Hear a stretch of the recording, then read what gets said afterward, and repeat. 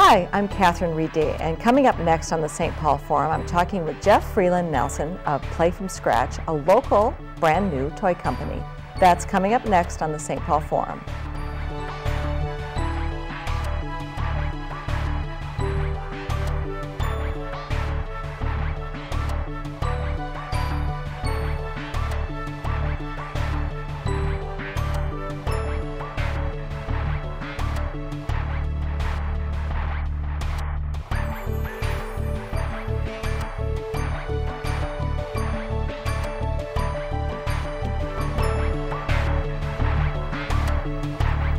To the St. Paul Forum. I'm Catherine Reid Day, and joining me today is Jeff Freeland Nelson of the company Play From Scratch. Welcome, Jeff. Hi. Hi, how exciting. Um, I know you from a different part of your life. Uh, you've been you've been here in the Twin Cities for a few years. We're going to talk about this brand new toy company, but tell us a little bit about where you came from, how you got your start. Well, uh, you know, really, you have to go back to my childhood, of course, to talk about toys. Okay. And so um, I'm from Iowa, uh, like everyone in the Twin Cities, um, and came up here for college uh, to study theater at Hamline, uh, which sort of began my love affair with creativity and how to uh, be a creative person, how to do creative things, how to build a, a creative community. So after college, uh, I did what every good theater major does. I uh, started a theater company. Oh, okay. Uh, so you know, pulled out my Visa card and funded a few shows and had a lot of fun. Uh, but after doing that for a few years, realized that uh, there's really there, there, wasn't at that time a lot of money in the small theater business to Mm-hmm. uh, to keep that alive, uh, and got more into uh, arts and cultural development. Mm-hmm. Um, and uh, really pursued that. Started a, an organization that's now called the Arts and Culture Partnership of St. Paul. Mm-hmm. Uh, and after a while, uh, Mayor Norm Coleman at the time, I think, was sick of me bothering him about arts projects. So I became uh, the cultural development director for the city. Uh, did that for several years. And again, this all sort of flowed through this whole idea of sort of the intersection of public policy and creativity. So did that for a few years, worked at McNally Smith College for a few years, uh, went off to get my policy degree at Harvard, uh, came back to work at NPR, uh, and after seven years there, decided to jump into the unknown and start this toy company. So we have a brand new baby company that is called Play From Scratch. You're the founder. And uh, tell us a little bit about where the idea for this this toys that we're looking at, where did it come from? You said it came a little bit out of your experience with childhood play, it sounds like. Absolutely. You know, like all the great ideas um, I've found uh, starting this company, it wasn't my idea. Um, it was really my parents' idea. Uh, I vividly remember when I was eight years old, uh, my parents gave me a cardboard box for my birthday. And inside the cardboard box, there was a roll of tape and some wire and some string. Uh, that was my birthday present. And I remember thinking, this is the best present ever. Uh, because really what it was was an acknowledgement on my parents' part that they wanted me to be creative. They wanted me to make my own toys. And so instead of having to scrounge around the house and find, you know, dad's duct tape down in the shop and steal it to go make stuff, they were giving me the tape. Um, and so I made all sorts of crazy inventions uh, from that present. And then 32 years later, I realized I wanted to do, in essence, the same thing for my kids. So you have small children? I do. I have a son who's four and a little girl who is one and a half. And so you've already, uh, you were doing some, um, what do you call that, prototyping with your, is that sort of part of where the idea for the company came from? Yeah, I mean, really, it hit me. Uh, you know, they say it's sort of inspiration strikes, and it, it was a little over a year ago that I was playing with my son, and we were just playing with very simple materials, tubes and funnels, and and uh, having a blast.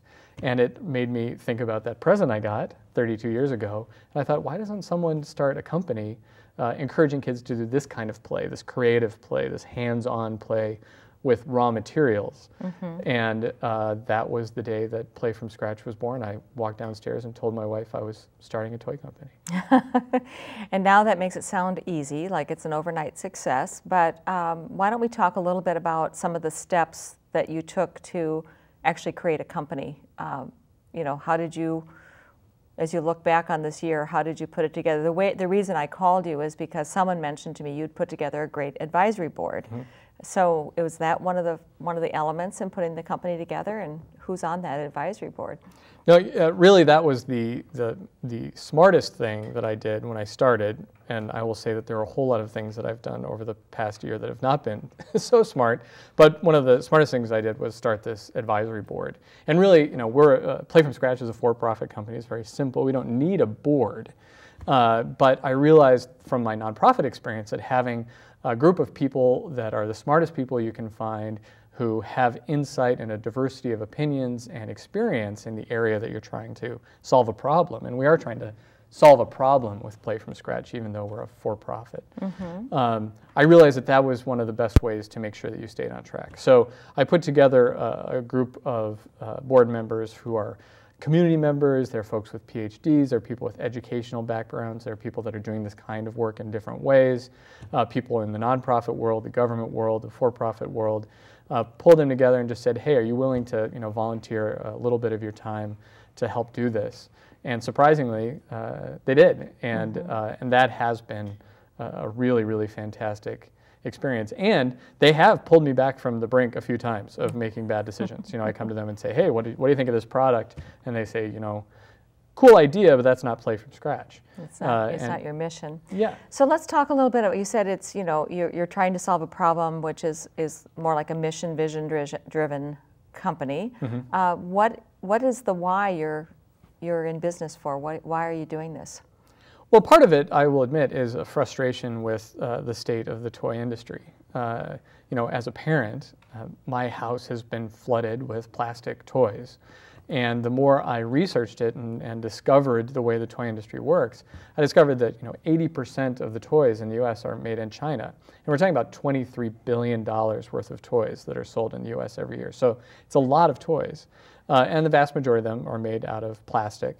Um, now they're great toys, and believe me, I love toys. I'm not against toys. Our house is full of toys, and my kids love all sorts of toys, not just this stuff. And I think it would be um, unfortunate if this was all there was in the entire world. So uh, we're not against toys. But what I wanted to do was create an alternative, to create something that was different, and something that was really focused around uh, sort of four big values. Uh, and the big, the most important one for us is creativity. And so we really dug into this notion of how do you play from scratch where you don't really need toys, you just find stuff around your house and you make your own toys. Mm-hmm. Um, and that's really where this, this game was, which is what started it all. I made 24 of these prototypes, delivered them to all of my uh, friends that had kids about the, you know, the right age. Uh, right before Christmas last year, and they, it was under all of their Christmas trees. Uh, and this game, which is called Go Creative, the big idea is that you deal two cards, very simple, and it gives you a challenge, a creative challenge. So in this case, it says build a little bicycle. and so you just deal the cards and you say to the kids or adults, whoever you're playing with, build a little bicycle. And then they build it out of anything they can find around the house plates, mm-hmm. tape, straws, you name it. After that, deal two more cards. So it says alien and then a pretty alien. So then you build a pretty alien. And you can just go on and on and on with this game. And there are actually many, many other ways to play it. So that was the foundation creativity. And how did, what was the feedback you got after, because you were, I take it you were giving these to your friends for free and just yep. saying, please just try this out. You know, it was interesting. The, the best, and that we got a lot of feedback, and, and uh, most of it very positive. The, the best feedback I, I received was from a nine year old girl uh, named Winnie, and she, you know, without asking, uh, they were on a road trip and they take, took the game with them. And Winnie uh, from the back seat said to her dad, she said, Dad, this is a really big game in a really little box. and I thought that was pretty great. That's pretty cool. Uh, I also heard about kids that were using the game like charades. They were dealing the cards mm-hmm. and then acting out these, uh, these roles. Um, so, yeah, I mean, what I heard from people is, is that it works. Well, and let's talk about why do you think that this idea of play, uh, creative, creativity and play, why do they, why are they so important to us right now? You know, it's interesting, and I think there's a lot more attention being paid to play than ever before. I think for really decades or, uh, or more, we didn't really think about play. It was just that thing that kids did. well, we're starting to realize, and there's a lot of research now emerging around the importance of play and how the way you play helps sort of train your brain for adulthood. Mm-hmm. You know, first and foremost, play is practice for adulthood. You're playing, you're sort of testing boundaries, you're figuring things out. Uh, but more than that, and this is something I discovered, which part of my career, which I completely neglected to mention, which I, I was the technical director at the Children's Museum way back when. Um, and one of the things I discovered when I was at the Children's Museum is that kids are playing because they want to change the world in little ways. They want to see, like, if I push this, will something happen? If I change this, what does that do? Mm-hmm. And, and, and now watching my children, after thousands of hours watching children play at the Children's Museum, now watching my children, I'm really seeing how true this is that play is a way that children test out their own capacity to make change in the world. Mm-hmm. And so we need to give them the toys and the tools that allow them to do that. So many of the toys that we have now don't do that. You press a button and it does it's something. It's done for you. Yeah, yeah. All, it's essentially. All, mm-hmm. I mean, the, the, toy is more about the adult who designed it than the kid who's playing with it. Mm-hmm. These are toys where you're saying to the children, you can make anything. And if we can teach them that through this kind of play, you know, what will that mean for them when they're adults? Right. And so uh, to, to the average buyer, they might look at this and say, well, now, why in the world do I need to buy these things that you've produced for us, that you've assembled here? Absolutely. Um, so they might go and, you know, they're going to look at this and say, oh, I, I recognize this. This is from a water Right, if, exactly. if you can still find a water cooler like this, uh, that's what this is, right? Or this is from the gas station and you, right, it's exactly. a filter for the, oh, okay. What is, what is, tell me a little bit about that idea. Well, in some ways, again, that's part of our mission. You know, we're trying to teach kids that you can make things from everyday objects. So mm-hmm. we want these objects to be slightly familiar. We want them to be things that they see to a certain degree around the house. But we also want to make them sort of ready for a lot of different creative play. So these are very you know, carefully selected. You know, the tubes in the tube of tube are much bigger than the tubes that you'll find around your house. Uh, they're much more sturdy. I mean, everything we make is designed to be reused over and over and over again. These are not mm-hmm. toys that you're going to buy and then immediately recycle because they are all recyclable. You can recycle them, but you're going to play with them for a long time before that. Um, so these are very sturdy, uh, sturdy uh, materials. The other thing, so for example, a cardboard box. And you know, really, there's again a lot of attention being uh, paid to cardboard boxes. Caine's Arcade was a video that went viral last year after we started Play from Scratch. But what it really was was a great sort of proof of concept for us about the power of a cardboard box. Well, this is not your average cardboard box. It looks like a cardboard box, but you can actually, you know, as a child say, well, I want to have a hole here, and you just press a little hole, and there's a triangle. If you want a circle, you put a circle there. Mm-hmm. And then you can do the same on the other side. You can put tubes through here. You can actually fit the boxes into each other. So while it is just a cardboard box, this is not the same cardboard box that you would get at the store. The other thing is cardboard boxes are very expensive if you actually go buy them. Now again, we're always encouraging you to play with stuff around your house. Do that first, have a blast. But as far as going out and buying a cardboard box, my first prototype of the world famous box of boxes, which I made for a four year old across the street. It was his birthday. Um, I was in a rush. I just went and bought it retail. It cost $50 to oh. put together because boxes are very, very expensive to mm-hmm. buy retail. Mm-hmm. Um, so we are buying all of these by the thousands. We obviously can pass that savings along to uh, our co creators, our customers, uh, so we can offer it very cheaply. Um, you know, a box of boxes. Mm-hmm.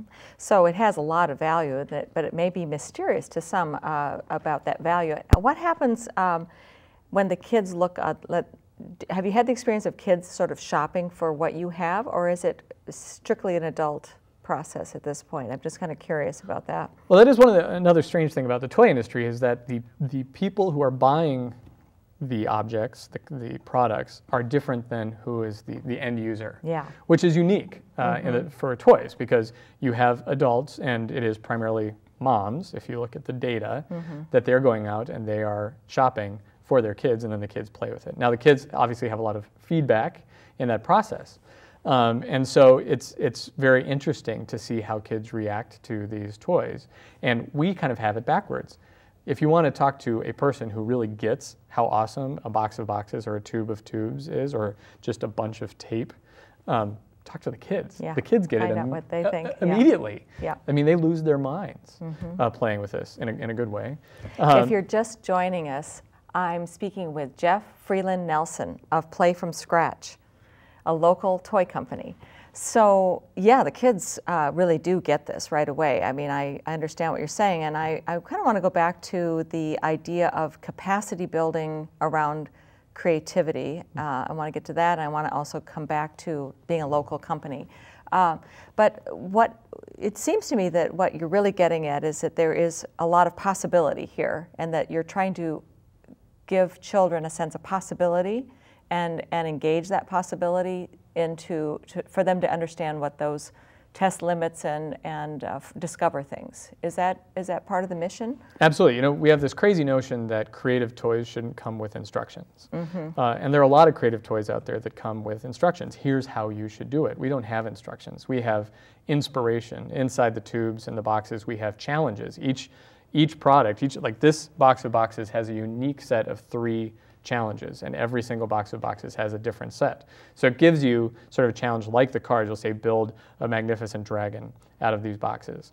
That's our challenge to them. How they build it is completely up to them. We're not going to give them a drawing of the magnificent dragon. We're not going to say, you know, put the tail here and here's what colors the fire should be. Mm-hmm. That's up to them. Mm-hmm. Uh, and again, give them the materials. So you put a lot of these materials in front of them they know how to create. Mm-hmm. Kids are mm-hmm. naturally creative. Exactly. Part of our role as adults is really to get out of their way and let them do it, to give mm-hmm. them that mm-hmm. little nudge so that they get started. And there is a little nudge, and we've watched this when we've mm-hmm. tested these products. You kind of get them going and then just then sort of you back step off. back and let it go. Um, this box of boxes does strike me as just a great gift for Christmas. I've got it on my possible shopping list. Um, but what, when you think about it, is there an age range you're promoting? Are you basically saying this is a sort of a whatever age to 100, anyone could want to play with this? How do you see your, your product in the market? On the box, it says uh, ages 4 to 104. Ah. Um, and part of that is because we're required, you know, the toy industry is highly regulated. We actually have to put an age group uh, mm-hmm. on the box. Um, the reality is, my one year old has a blast with these boxes. My one year old loves playing with the tubes. You give any child of any age a mm-hmm. big card, a big, thick, hefty cardboard tube, they're going to have fun with that. Um, so really, it is all ages. There, there have been many times that we've tried to narrow that down. We've tried to say, you know, really, really, what is the age group that is excited about this? And then I'm shocked when we hand the stuff to 15-year-olds and they, they have a blast. They need this kind of thing because it's so structured. Tell us a little bit. I want to go back to being a local toy company. Uh, I, I, know we've had a few toy companies here. We used to Manhattan Toys were mm-hmm. here, weren't they? I don't know where if they even exist anymore, but. Uh, how many toy companies have been founded in Minnesota, and and what was when was the last one founded here?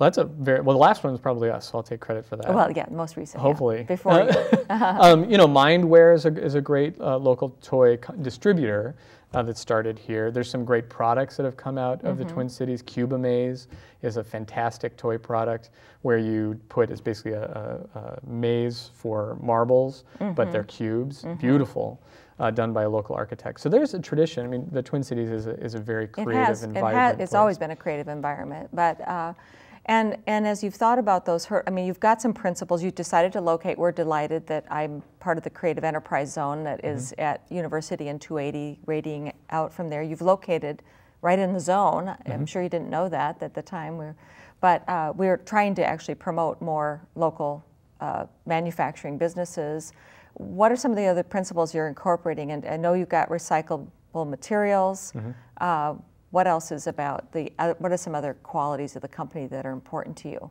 Well, one of the you know really wonderful, almost accidental things that's happened over the over the course of the year is that you know we started looking at manufacturing. You know, we wanted to make these raw materials kits, um, so we started looking at where we could source these raw materials.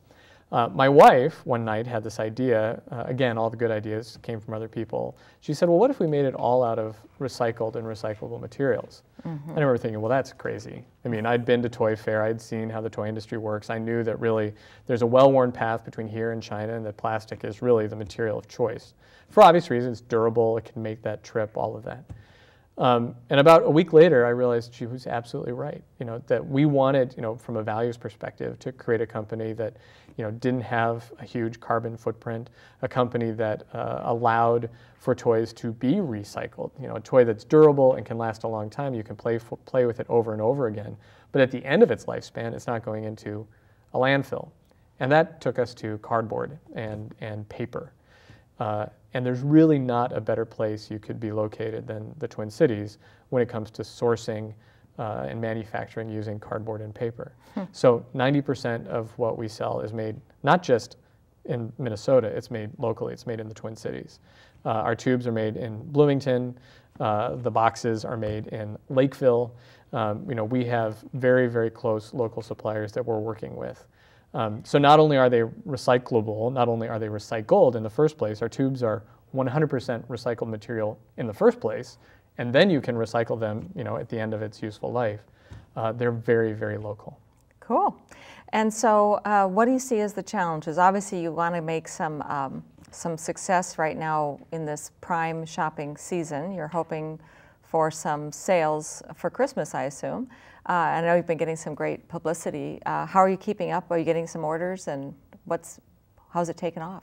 You know, it's it's great, and uh, you know, obviously, uh, more sales are, would be awesome. But we have met and surpassed, uh, you know, our goals far beyond what we uh, anticipated, starting, you know, just a little over a week ago. Um, so the orders are coming in, the, the product is moving out the door. Um, you know, I think the real challenge for us is that we're really something different. Um, there's no one else, at least that we have found, uh, out there in the toy industry doing exactly this. There are some fantastic companies that are doing, uh, encouraging kids to play with raw materials. There's one based in Australia called, called Makedo, which encourages kids to play with boxes using plastic connectors. That's awesome. Mm-hmm. As far as uh, this product, using raw materials in play and using uh, recycled and recyclable, uh, durable materials, uh, we think we're, we're the first doing this.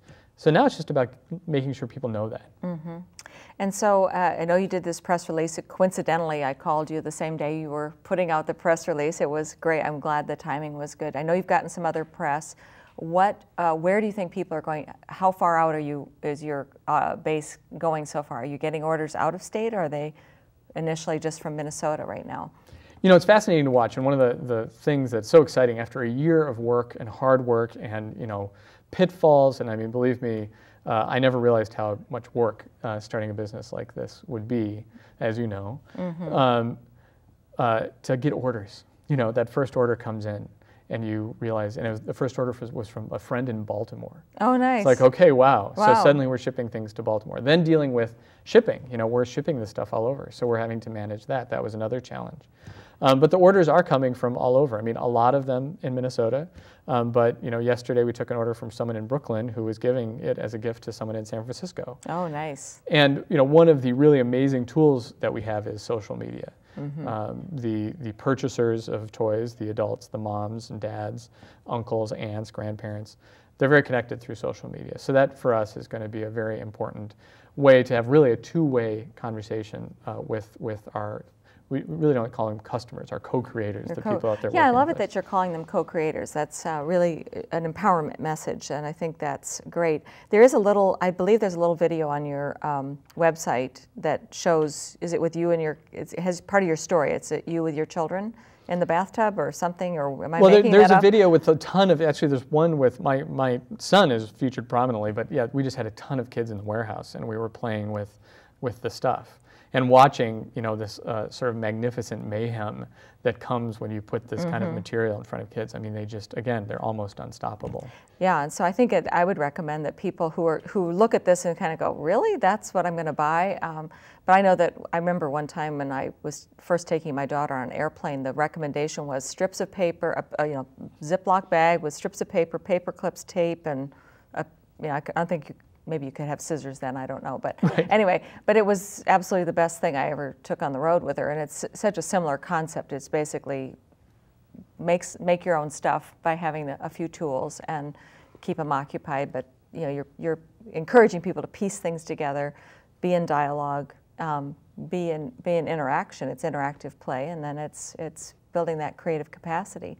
Well, and, you know, people. the reality is that the world is full of toys, mm-hmm. um, and we're the ones, you know, we the grown-ups make the distinction between things that are toys and not toys.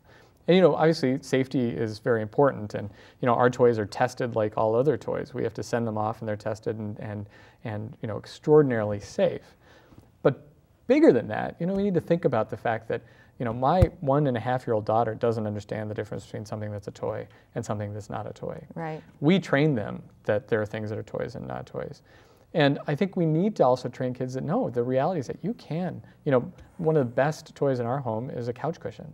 We're constantly, you know, stripping the couch and making mountains and forts yeah. and you know these really fantastic things. Yeah, exactly. It's all that. It's all that uh, process and uh, imagination. All of our, fa my favorite book is uh, A House of Your Own. It's a really old, old, old book, and it was all these examples of how you create a house of your own when daddy's reading the newspaper. This is how old it is, right?